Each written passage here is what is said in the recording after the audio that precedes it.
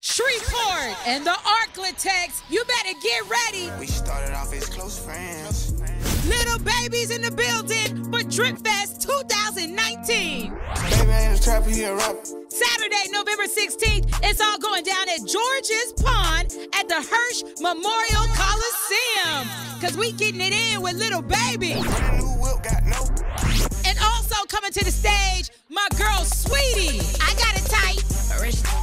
Eight figure, that's my type.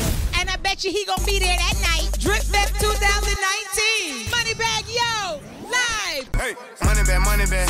Now I'm more about the sun.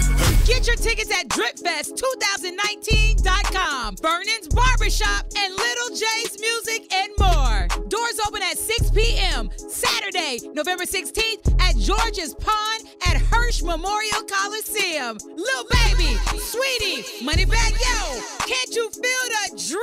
I didn't got wet.